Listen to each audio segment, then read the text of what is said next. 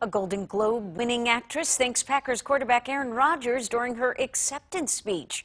Jodie Foster, a very public Packers fan, gave a shout out number 12's way when she took home the Best Supporting Actress award last night for a film she's in with Rodgers' fiancee, Shailene Woodley.